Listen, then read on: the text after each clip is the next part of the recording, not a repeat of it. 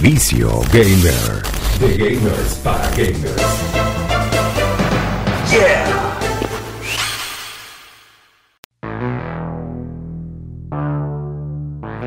Esto es 100.7 Digital FM. Ajá, chicos. Eh, y llegamos al momento que todos estábamos esperando, que todos estaban esperando, el momento eh, eh, importante del programa. Bueno, todos los momentos son importantes de este programa, pero este, estábamos esperando hablar sobre el Super NES, el Mini, la nueva reedición de Nintendo de esta mítica consola. Una consola que está en la, en, la, en la mente, en el cerebro, en la quedó en la, en la, conciencia. El cerebro de la bestia. Y ese que está hablando por allí es eh, mi amigo Javier León. Él es administrador del grupo de Facebook eh, Fanáticos de lo Retro. Un grupo super cool, es un grupo super cool, recomiendo que vayan allí, yo de verdad soy fanático del grupo, porque siempre en los grupos de Facebook uno si no consigues un, más que todo en lo de los videojuegos, si no es un mercado, es un grupo donde todo el mundo empieza a trolear, donde todo el mundo empieza a pelear, y aquí no, aquí reviews, eh, análisis, eh, muy cool, hay reseñas super cool, este, de juegos, de, juegos retro, de verdad Javier y, y sus amigos allí lo lo hacen, lo hacen muy bien y de verdad que extiendo mi, felicitación para ellos. Yo me traje hoy a Javier porque pasa algo muy importante. Nintendo anunció esta semana, la semana, esta semana que pasó, el lanzamiento de la Super NES eh, Mini. Porque, bueno, van a conmemorar también eh, esa gran, esa mítica consola que, bueno, fue lanzada el 23 de agosto de 1991 en los Estados Unidos el 21 de noviembre de 1990 en Japón.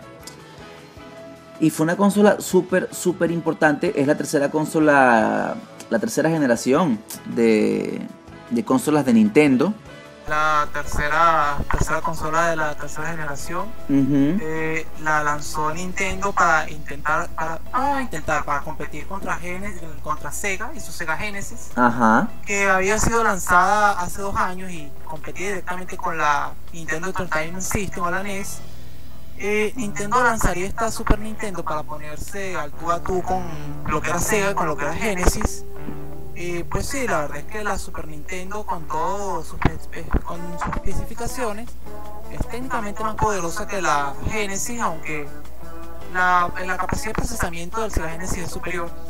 Tienen sus contras y sus, todas, todas, sí, todas tienen sus pros y sus contras, pero lo que sí de, de, lo que sí tenía la Super Nintendo era un chip de sonido espectacular hecho por Sony. Sí, sí, eh, sí, muchas veces Muchas veces salían tonadas que, ni se entendían, parecían que alguien se había dormido en el teclado realmente. Sí, sí, el Super Nintendo tenía un sonido espectacular.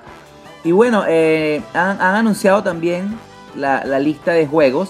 Y bueno, yo voy a, vamos a repasar un poco antes de ir a lo que a lo que al plato fuerte, ¿no?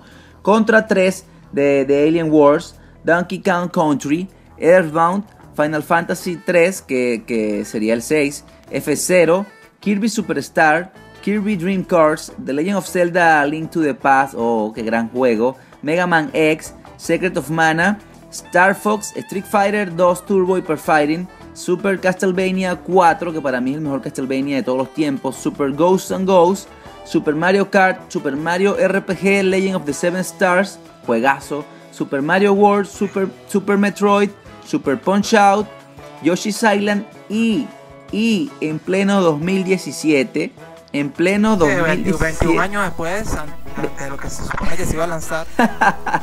Nintendo lanza, decide lanzar Star Fox 2. Que es, eso es lo más cool y la razón más fuerte por la que uno debería comprarse este Super NES Mini, ¿verdad? Una lista. Bueno, yo diría que la razón principal es Earthbound. Claro, una lista eh, bien nutrida, bien nutrida, pero bien controvertida también, eh, Javier, ¿verdad? Eh, sí, porque eh, lo que era la mini NES tenía 30 juegos y se vendían 60 dólares.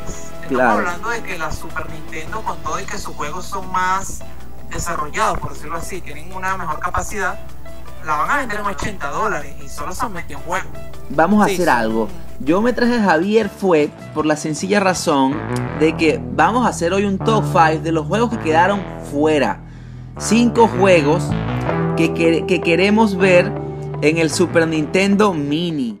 Arranquemos. En el número 5, ¿a quién tenemos? En el número 5 tenemos a Demon Quest, un juego desarrollado por Capcom en 1994. Ok. Es el último juego perteneciente de una trilogía llamada Gargoyle's Quest, que la verdad no necesitas jugar los dos anteriores para entender esto. Eh, Ok. También esta trilogía es un spin-off de Ghost and Goblins, Ok. en donde manejamos a una demonio, gárgola, no sé qué diablos, es roja llamada Firebrand. Ok. Es un plataformero de acción y aventura, más o menos como lo que serían los Castlevania. En este juego controlamos a esta susodicha gárgola eh, que debe conseguir siete crestas demoníacas de un, de un, en una guerra de demonios que fueron arrebatadas por un demonio llamado Phalanx que causó una guerra entre demonios y la verdad es que la, la trama es bastante estúpida. Pero lo que nos importa aquí es lo que nos importa aquí es el gameplay. El Que es gameplay excelente. sólido. Es- en- al, principio, al principio controlamos a esta gárgola que solo puede volar y disparar fuego. Pero si exploramos un poco más en el juego, conseguimos estas crestas de demonios que le dan poder extra a la gárgola. Por ejemplo, si conseguimos la cresta de agua, la gárgola puede nadar bajo el agua. Si conseguimos una cresta de- una cresta del cielo, la gárgola puede volar por tiempo indefinido.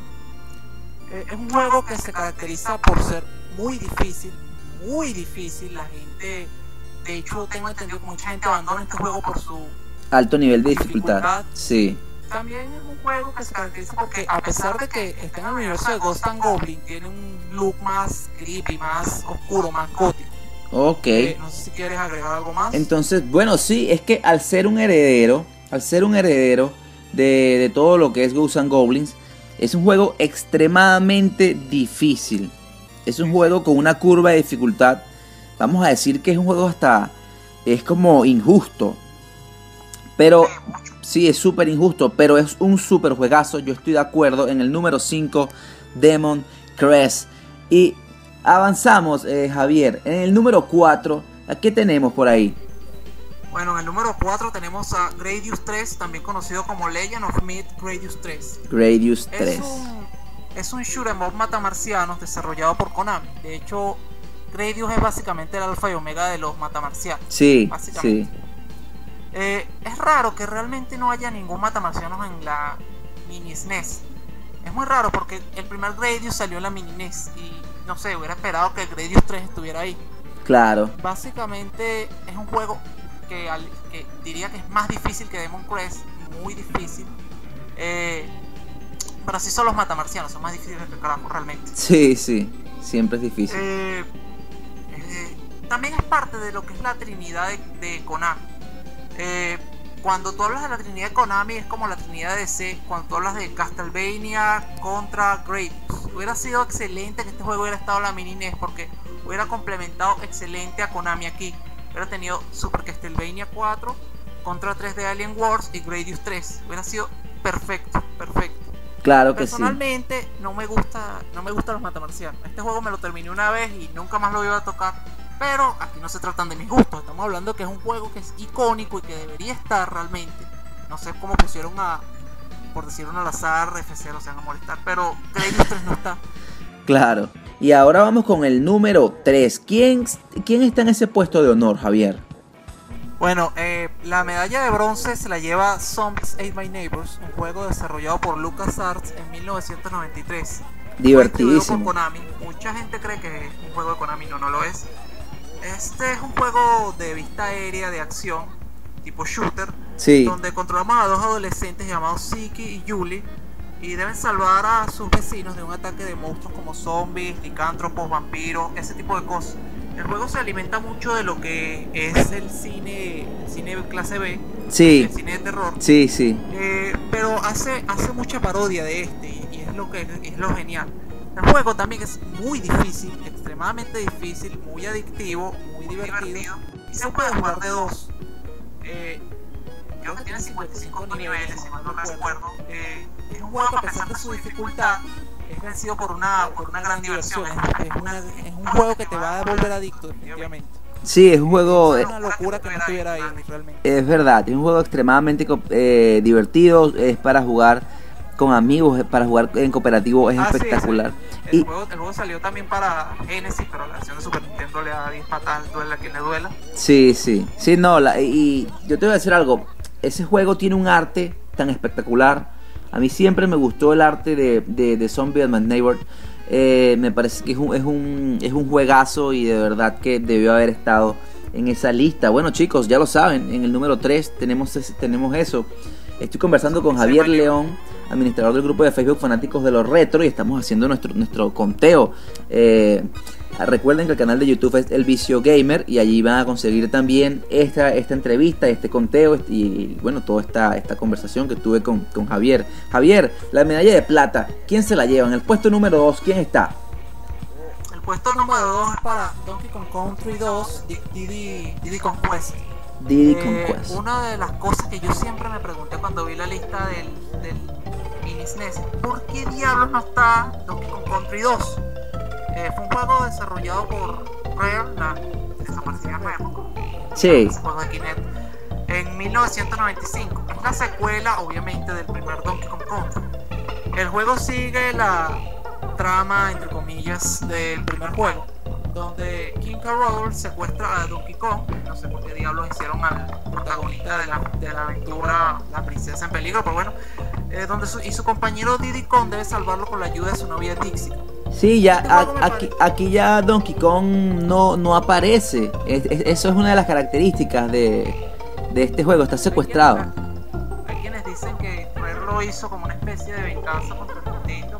Sí, hay gente, hay gente, ese es un rumor que hay que dicen que se lo hicieron a, propósito.